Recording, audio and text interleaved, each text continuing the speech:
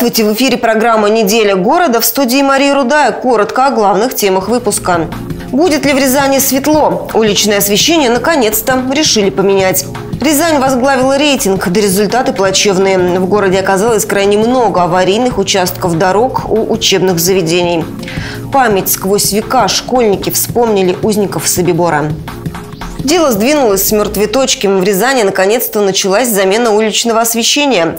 До декабря 2020 года обновят более трех с половиной тысяч фонарей. Власти уверяют, светить они будут более ярко и равномерно. Первую партию уже забрали. Новые лампы устанавливают в Центральном парке культуры и отдыха, на улицах Октябрьская, Галенчинская, Молодежная, Бирюзово-Кутузова и еще нескольких десятках улиц.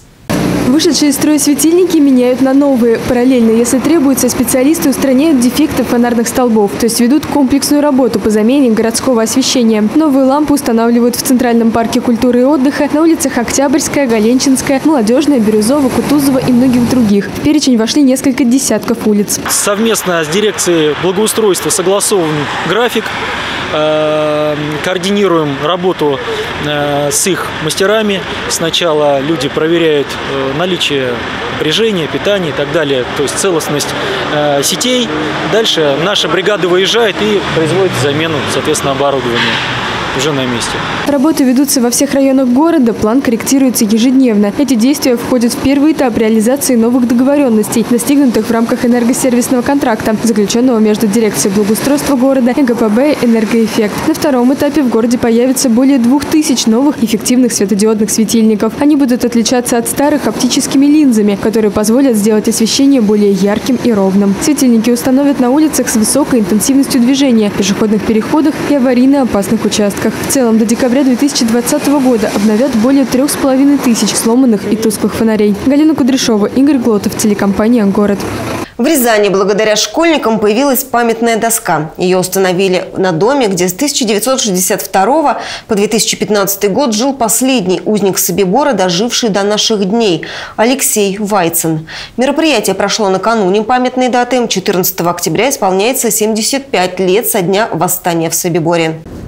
Это была обычная школьная работа. Ученики 40-й Рязанской школы в прошлом году провели краеведческий фестиваль, на котором рассказывали о знаменитых земляках. Одна из работ была посвящена Алексею Вайцену, последнему узнику Собибора. И не случайно в 2017-м Россию отстранили от участия в проекте реконструкции музея на территории бывшего нацистского лагеря смерти Собибор, что возмутило мировую общественность. Наша школа стала инициаторами, чтобы мы установили эту доску в память о таком замечательном человеке, человеке, как Алексей Ангелович Вайцен. Мы вышли на Центр Холокоста, наши учителя там работали, также представляли нашу работу на конкурсе, для того, чтобы эта доска теперь находилась на этом здании. Алексей Вайцен был участником восстания на Собиборе, которое произошло 75 лет назад, но рассказывать об этом не любил, даже своим родным. Собибор сам в лагере, он сказал, я ногой никогда не вступлю больше.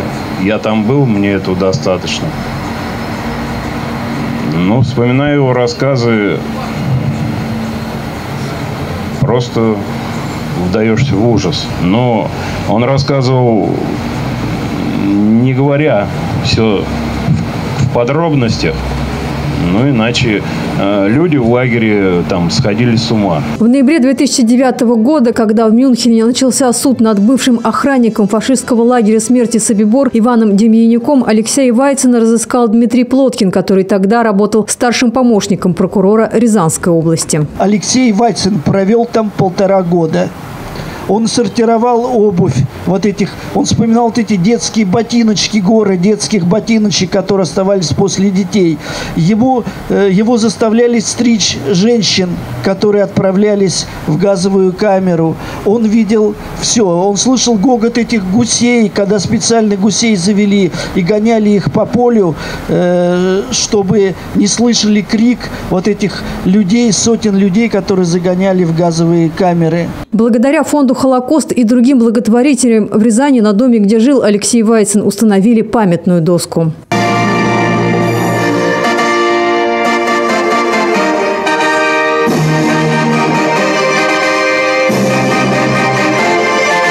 Я впервые в Рязани, и я почувствовала эту атмосферу какого-то удивительного добра, какой-то человечности. И я очень рада, я очень рада за дорогого Алексея Ангеловича, что вот эти люди здесь собрались, что у них чудесные лица, что они его помнят. Также в Рязани в Горьковской библиотеке открылась выставка «Холокост. Уничтожение, спасение, освобождение», посетить которую могут все желающие. Дина Исляева, Станислав Кудряшов, телекомпания «Город». Впереди планеты всей Рязань возглавила рейтинг самых опасных участков дорог, расположенных возле российских школ. Эксперты Общероссийского народного фронта проанализировали, возле каких учебных заведений чаще всего происходит ДТП. Улица Ленина в Рязани стала самым опасным участком в стране. Она появлялась в рейтинге дважды. Продолжит Валерий Седов. Пешеходных переходов у школы номер 7 в Рязани три. Каждый из них оборудован соответствующими дорожными знаками и светофорами типа Т7. Вот только люди продолжают нарушать правила дорожного движения. Выходов из школы несколько, однако самой большой популярностью пользуются эти самые ворота. Справа и слева от них пешеходные переходы, однако некоторые дети перебегают дорогу прямо тут, в неположенном месте.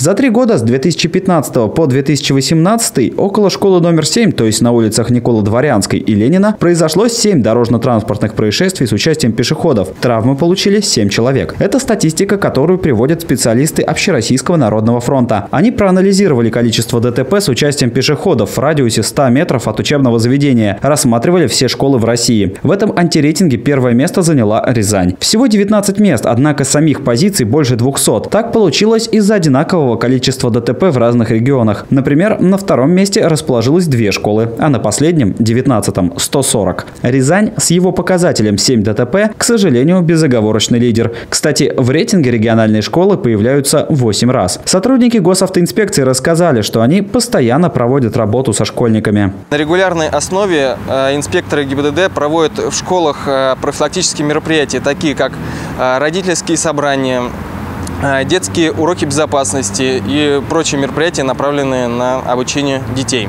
Стоит отметить, что оцениваются не сами школы, а количество ДТП вокруг них. То есть участниками происшествий становятся как ученики ближайших учебных заведений, так и обычные пешеходы. Сейчас на кадрах улица Менигали Губайдулина в городе Уфа, Республики Башкортостан. Этот переход занял последнее место в рейтинге. За три года здесь произошел только один наезд на пешехода. Местные представители ОНФ рассказали, как подошли к вопросу безопасности переходов. Мы подошли к этому вопросу системно. Несколько лет назад совместно с администрацией города мы выезжали в corrida por Mufia. И оценивали ситуацию, насколько же все-таки безопасны э, пешеходные переходы вблизи школ и детских садов. Помимо экспертов ОНФ, которые ратуют за то, чтобы сделать пешеходные переходы в городе безопасными, профилактическую беседу со школьниками проводят и сотрудники госавтоинспекции. Еженедельные классные часы, на которых ребятам напоминают основные правила дорожного движения. Однако, как считают уфимские сотрудники, это важно знать не только детям. Тут, наверное, надо еще и спросить с родителей, чтобы и мама, и папа папы тоже доводили а, своим детям о а, надобности, о необходимости соблюдения правил дорожного движения. Перед тем, как ребенок выходит из дома в школу, ну, пусть даже он будет и взрослый, там, 15, 14, 13 лет, обязательно надо напомнить подростку. И в свою очередь родителям тоже надо соблюдать правила дорожного движения, показывать им пример. Эксперты утверждают, что работу с детьми следует проводить в нескольких направлениях. Ученикам в школах основные правила дорожного движения напоминают преподаватели, а дома – родители. Притом важно делать это с юных лет, как и рязанские мамы. Конечно, да, он уже знает светофор для пешехода, что зеленый это надо переходить, красный стоять. Я говорю, что нужно обязательно переходить на зеленого человечка. Мы всегда стоим и ждем, мы на красный не ходим. Переходить только по регулируемым светофорам, пешеходным переходам, смотреть по сторонам. Произошло ли в радиусе 100 метров от учебного заведения одно ДТП или 7, не столь важно. Печален сам факт, человек получил травмы. Притом в рейтинге ОНФ есть немало случаев, где такое ДТП заканчивалось смертью. Вопрос скорее обстоит так, кто на самом деле виновник таких аварий. Водитель, который не увидел дорожные знаки, светофоры и разметку, или пешеход, который не убедился в безопасности перехода. Валерий Седов, Станислав Кудряшов, Наталья Ярина, Эдуард Якушев, телекомпания «Город» совместно с телекомпанией «Вся Уфа». Рязань присоединилась к всероссийской социальной акции «День МНО». Международное нормализованное отношение – важный показатель свертываемости крови. Его необходимо раз в месяц проверять пациентам с протезированными клапанами сердца, мерцательной аритмией, а также другими заболеваниями с высоким риском тромбоза. В этот день таким пациентам предложили бесплатно измерить уровень МНО. Тромб перекрыл сосуд, который воспитает руку, да? Мягкая стала, и вот тут не разорвешь. Эта история со счастливым финалом. Пациента, у которого образовался тромб, прооперировали, и его жизни ничего не угрожает. По словам проректора по научной работе и инновационному развитию Рязанского медуниверситета Игоря Сучкова, тромбозы доставляют массу неудобств и снижают качество жизни пациентов. Кроме того, из-за них может наступить инсульт и самое страшное – тромбоэмболия легочной артерии. Это фатальное заболевание, которое ежегодно уносит огромное количество а, жизней и смертность от тромбоза глубоких вен и венозных тромбоэмболических осложнений на сегодняшний день в общей структуре смертности входит в тройку ведущих э, нозологических форм. Лечить эти заболевания, профилактировать их осложнения на сегодняшний день крайне актуально. К сожалению, большинство жителей не знают о наличии у них таких заболеваний, как фибрилляция предсердия или так называемой мерцательной аритмии, которая повышает риск развития ишемического инсульта. Задача врачей, по словам главного внештатного специалиста-кардиолога Министерства здравоохранения, здравоохранения региона выявлять таких пациентов. Вот этим пациентам нужно обязательно рассматривать а, назначение а, антикоагулянтов препаратов, которые разжижают кровь и а, предохраняют пациента от развития ишемического инсульта. Назначает антикоагулянты врач. Препараты есть разные, но большинство из них требуют контроля. Сдавать кровь нужно как минимум раз в месяц. Для этого и используется тест МНО – международное нормализованное отношение. В день МНО рязанцы, принимающие такие препараты, депутаты смогли бесплатно измерить этот жизненно важный показатель. Дина Исляева, Игорь Глотов, телекомпания «Город». 14 октября весь православный мир отмечает покров Пресвятой Богородицы. Праздник пришел на Русь из Византии и стал одним из самых любимых и почитаемых. Верующие вспоминают чудо, которое произошло в 910 году. По преданию, Богородица явилась молящимся во Влахернском храме в Константинополе и спасла от нашествия войска варваров в целый город. История повествует нам о том, что к Константинополю подступали войска варваров. Обычно такие набеги заканчивались кровавой резней. Верующие в это время молились во Влахернском храме. Будущему известному святому юродивому Андрею явилось видение. Он увидел, как Богородица молилась вместе с присутствующими о спасении народа, после чего подошла к престолу и, сняв с головы покрывало, распростерла над молящимися. Чудесный покров защитил город. Поднявшаяся буря разметала корабли варваров, избавив жителей Константинополя от смерти. Матерь Божия, она откликается на многие наши просьбы и молитвы. И, конечно, когда нам особенно трудно, особенно тяжело, она и сегодня простирает свой покров над нами. И об этом нужно помнить, потому что часто в трудностях человек начинает отчаиваться.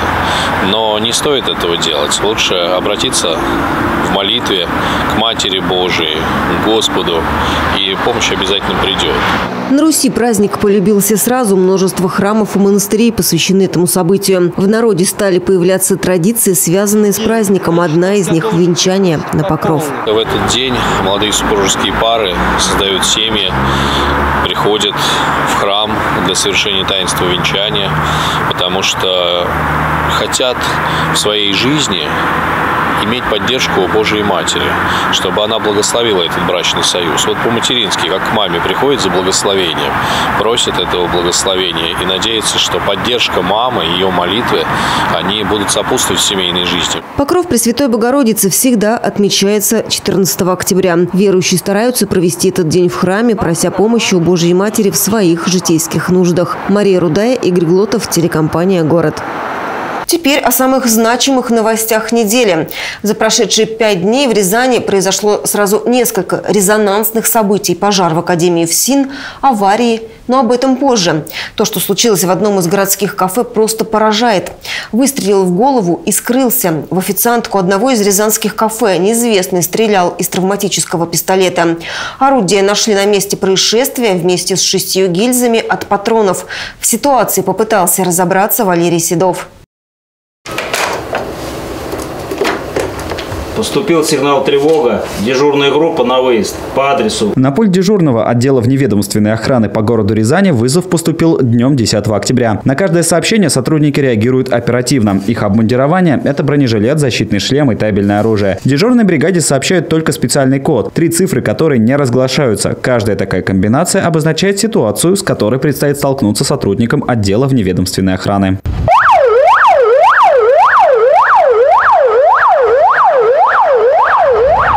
В этот раз вызов поступил из Рязанского кафе, где в ходе ссоры посетитель открыл стрельбу. Травму получила 43-летняя работница заведения. И хоть мужчина стрелял из травматического пистолета калибра 9 мм, пострадавшую женщину с ранением в области головы доставили в больницу. Мужчина с места происшествия скрылся. Прибывшие сотрудники вневедомственной охраны обследовали близлежащую территорию и задержали злоумышленника. Им оказался житель Московской области 1980 года рождения. По данным Центра лицензионно-разрешительной работы Управления Росгвардии по Рязани Рязанской области разрешение на изъятый травматический пистолет у гражданина имеется. В настоящий момент проводится расследование, выясняются причины произошедшего. В отношении злоумышленника возбуждено уголовное дело. Валерий Седов, Станислав Кудряшов, телекомпания «Город». Теперь о пожаре в Академии ФСИН России. О нем напоминают открытые настежь окна и разбитые стекла. Напомню, возгорание произошло в одном из лекционных залов. К счастью, никто не пострадал, да и на учебном процессе ЧП никак не отразилось. Подробности у Дины Исляевой.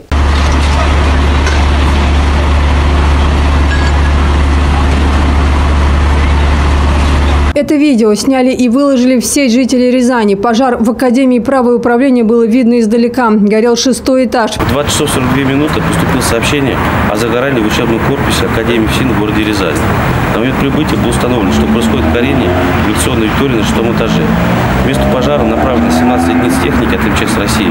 В тушении участвует 41 человек. Пожару присвоили третью из пяти существующих категорий сложности. На его ликвидацию ушло порядка двух часов. Площадь пожара составила 100 квадратных метров. По предварительной информации, это электротехническая причина. Но какая из них будет установлена в ходе экспертизы? Изъята с места происшествия электропроводка, которая проходит определенные исследования. Сейчас само здание пока отключено полностью, потому что особенность электрической схемы э, предусматривает вот именно полную запитку. В данный момент отключено, идет просушка всеми возможными способами. Немедленно оно будет включено, но в дневное время достаточно светло, занятия идут в не пострадавших аудиториях и помещениях. Сейчас в здании по-прежнему разбиты окна на шестом этаже, через которые тушили огонь. На остальных этажах окна открыты, видимо, чтобы выветривался запах дыма. Под крышами домов опасно ходить не только зимой, если в холодное время года жители боятся, что на голову упадет наледь или сосулька, то весной, летом и осенью возникает другая опасность. Многие дома в городе старые. Крыши и элементы балконов часто не выдерживают погодных условий и, как следствие, падают вниз. Кто должен следить за состоянием балконов и крыш и куда обращаться в случае несчастья, расскажет Валерий Седов.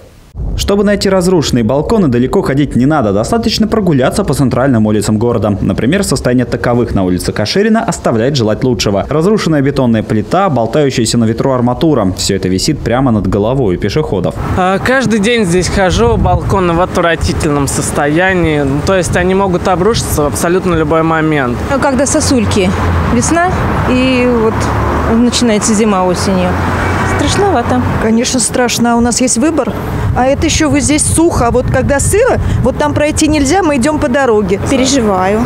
Но надеемся, что их реконструируют скоро, в скором времени. Сообщение о падении балконов на пешеходов федеральных СМИ не редкость. Встречается подобное и в Рязани. И неужели падение балконов или элементов опоры – это вина жильцов? Юристы отвечают – нет. Все собственники квартир платят управляющей компании или ТСЖ, которые и выполняют необходимый перечень работ по содержанию многоквартирного дома. Организация, которая собирает деньги за содержание жилья, ответственность в том числе за проведение вот этих планов предупредительных проверок, которые в том числе необходимы для предупреждения аварийных ситуаций, чтобы не было никакой беды. И здесь не просто проверка, пришли-ушли, да, действительно составляется акт осмотра, как металлического ограждения балкона, чтобы вы не упали вместе с этой металлической решеткой, и балконной плиты. Все это делается два раза в год. Если человек заметил, что балкон находится в ненадлежащем состоянии, то следует обратиться в управляющую компанию. В том случае, если они не захотят провести проверку, следует следует идти в суд. У этой проблемы есть и другая сторона, более трагичная. Балкон или его элементы, которые находятся в ненадлежащем состоянии, могут и вовсе упасть на проходящих под ним людей. Вы предъявляете требования, когда у вас уже есть соответствующие документы, что вот там-то случилось то-то, то-то. Ваши, если есть расходы, подтвержденные документально, вы